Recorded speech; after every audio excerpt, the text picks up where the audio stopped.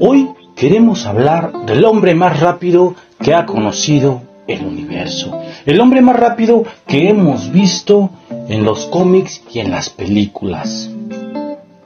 Queremos hablar del hombre que prácticamente puede cambiar el mundo, puede cambiar el tiempo, el espacio, puede cambiarlo todo a esta máxima velocidad. Más rápido que la velocidad de la luz, nos deja asombrados con todo lo que puede hacer. Hoy en el Alep queremos hacer la crítica y la reseña de la película de Flash. También quiero aclarar que sí vamos a, tener spoilers porque es es una reseña y nos vamos a meter a fondo. Hoy en el Alep de Flash. Bienvenidos. Antes que nada quiero aclarar que aquí voy a quitar mucho lo cinematográfico. No voy a hablar tanto como como crítico de cine o como querer criticar el cine. Digo con todo respeto para la gente que sabe de cine. Pero bueno, no voy a hablar como crítico, no voy a criticar tanto la película como como un evento cinematográfico. Hoy me quiero poner en el lugar de fan ya que Flash para mí es uno de mis superhéroes favoritos.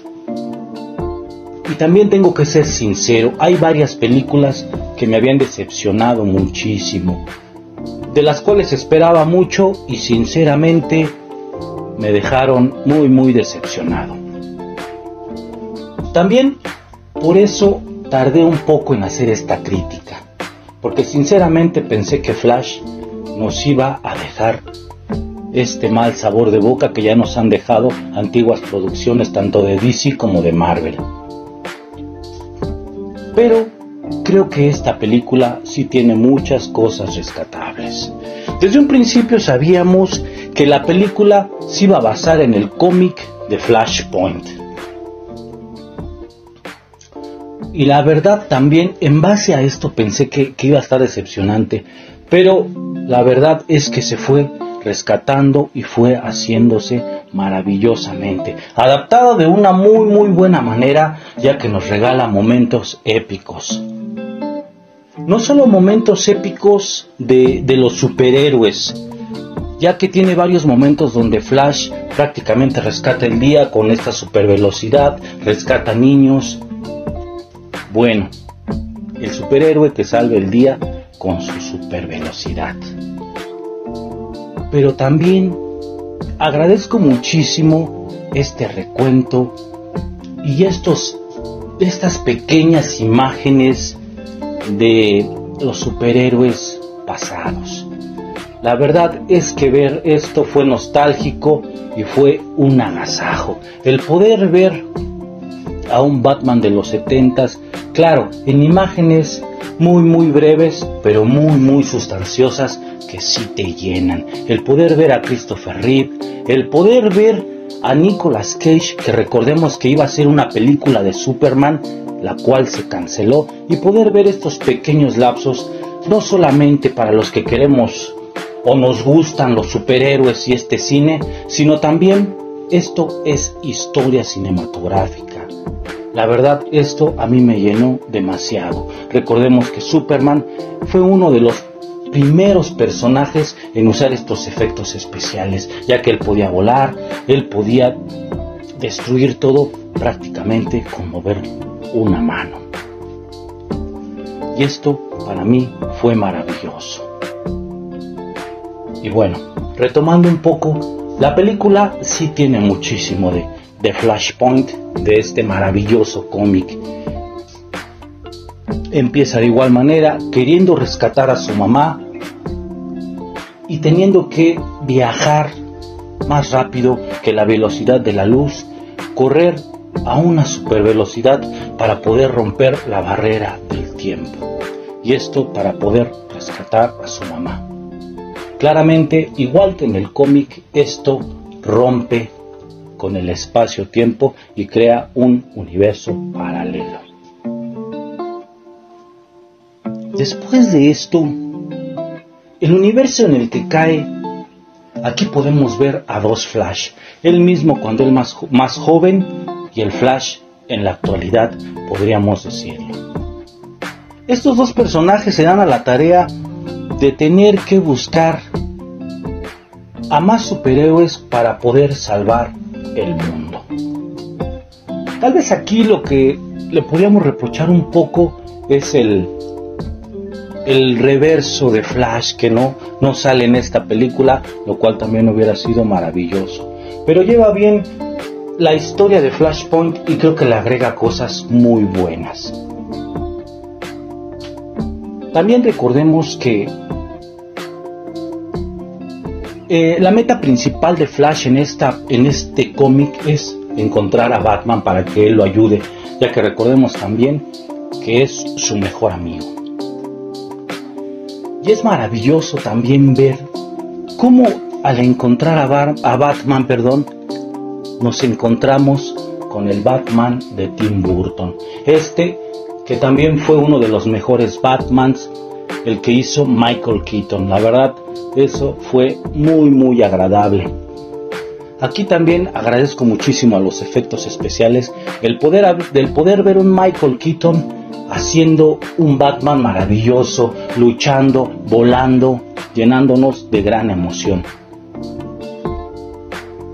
Para mí, sinceramente, no quiero hablar de los huecos, de, lo, de, lo, de los detalles malos tales que podía tener la película, porque la verdad en general la película es buena, la, la película en general me gustó y fue una muy buena adaptación del cómic. Y nos deja muy buenos momentos, además de atraparnos con, con esto nostálgico de ver a Michael Keaton. Cuando aparece Michael Keaton y vuelve a decir esta frase icónica de sí, soy Batman, sin duda también nos atrapa.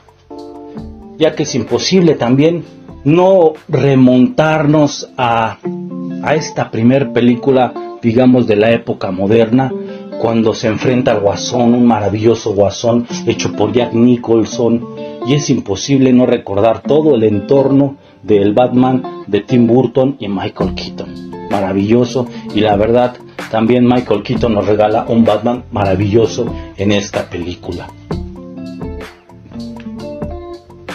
Y por otro lado, como va avanzando la película, recordemos también que nuestros superhéroes tienen que encontrar a, a Superman para poder salvar este nuevo universo.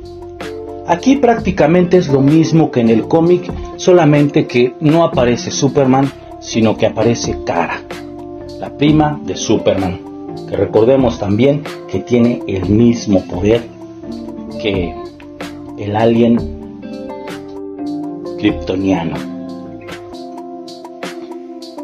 Pues bien, esto nuevamente para mí fue muy bueno, el poder regresar y volverte a encontrar con Zod, el volverte a encontrar con este primer Superman también, porque sin duda estos fueron los primeros enemigos de nuestro Superman moderno de nuevamente.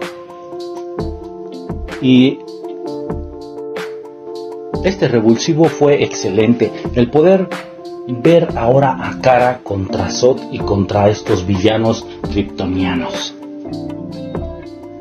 Claramente era muy difícil poder derrotar ahora a estos villanos sin un Superman.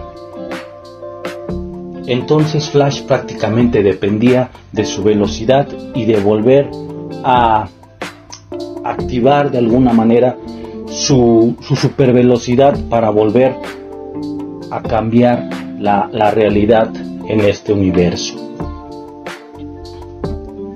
Por otro lado, también Flash tiene momentos para mí muy muy buenos. El incendio de un hospital nos deja un momento épico también en el cine. Esto de ver a Flash corriendo, pero ahora para arriba, mostrándonos que la velocidad puede puede hacer maravillas esta super velocidad que tiene Flash, ya que puede correr lateral, verticalmente, inclusive hacia arriba. Y esto es lo que nos muestra en esta imagen, la cual hacen en slow motion, paso a paso y cuadro por cuadro. Para mí se ve maravilloso. el poder rescatar a cada uno de los bebés, el poder rescatar a la enfermera y el bajar y quedar intacto. Inclusive vemos que él está perdiendo energía y encuentra una caja de dulces, la cual le vuelve a dar la energía para ser el hombre más veloz del mundo. He escuchado algunas críticas o algunas comparativas con el Quicksilver de X-Men, pero creo que sí DC supo darle la vuelta, si es algo diferente. Aunque las dos escenas son muy buenas a mi gusto.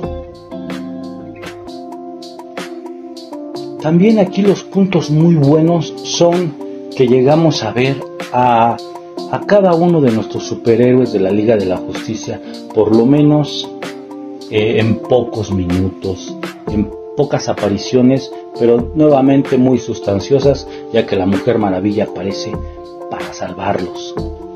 Estos momentos épicos que nos regala la Mujer Maravilla en la Liga de la Justicia, sin duda también nos llenan y demostrándonos que es la segunda persona más poderosa de la Liga de la Justicia. La verdad es que en general la película es buena. A mí la verdad me gustó mucho. Sinceramente pensé que no iba a ser, que nos iba a dejar mucho que desear, vamos, pero la verdad es que, que si es una película buena, si te atrapa. Flash vuelve a ser lo que, lo que fue en un principio este supervelocista, este superhéroe que nos cautivó, que nos cautivó tanto hace ya mucho tiempo. También esto, esto último de ya prácticamente cuando el universo va a explotar, nos pareció maravilloso, nos pareció genial. Retomando, la verdad es que esto es no solo historia de, de los superhéroes, es historia del cine mismo. El poder ver a un Batman antiguo, por así decirlo, al primer Superman, a un Flash, al primer Flash, el, poder ver a, Christopher Reeve, la verdad es que es maravilloso, es nostálgico y es histórico, porque simplemente esto es no solamente historia del cómic o historia de los superhéroes, sino también es historia del cine mismo ya que los superhéroes nos han atrapado por décadas.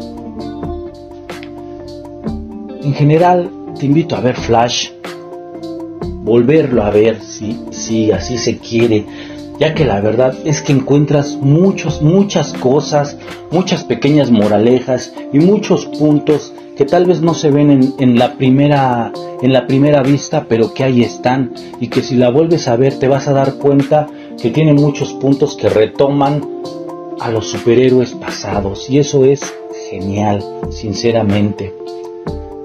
Y por otro lado, el poder ver un poco de este Nicolas Cage, el cual no pudimos ver, otro Superman, otro proyecto que iba a ser de Tim Burton, el poder ver este pequeño lapso es maravilloso y la verdad nos hace retomar y nos hace volver a pensar que hubiera sido el Superman si lo hubiera dirigido el maestro Tim Burton.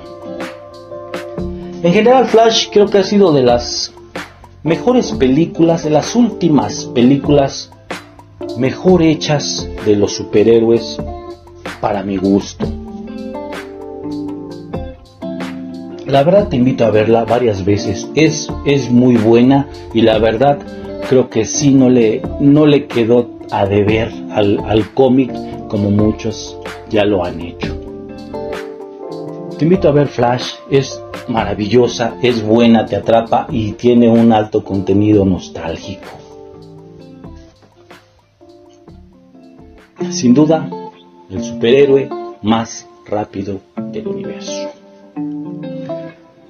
Con tus comentarios y con tus likes me ayudas muchísimo y me motivas muchísimo para seguir haciendo contenido de diferentes historias del cine. Así también como con tu suscripción, ya que con ella me ayudas a mantener este espacio y hacerlo crecer para los que adoramos y queremos el cine en todas sus facetas. Esto fue la LEP. Muchísimas gracias.